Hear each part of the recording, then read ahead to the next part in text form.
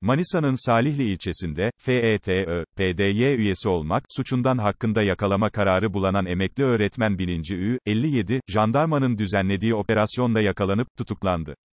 Salihli İlçe Jandarma Komutanlığı ekipleri, yaptığı istihbarat çalışmasıyla, FETÖ, PDY üyesi olmak suçundan kesinleşmiş 6 yıl 10 ay 15 gün hapis cezası bulunan ve Manisa İlamat ve İnfaz Bürosu tarafından arama kaydı olan, emekli öğretmen bininci Ü.'nün Salihli'de bir evde olduğu bilgisine ulaştı.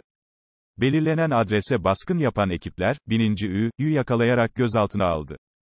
Bininci Ü, jandarmadaki işlemlerinin ardından sevk edildiği adliyede tutuklandı.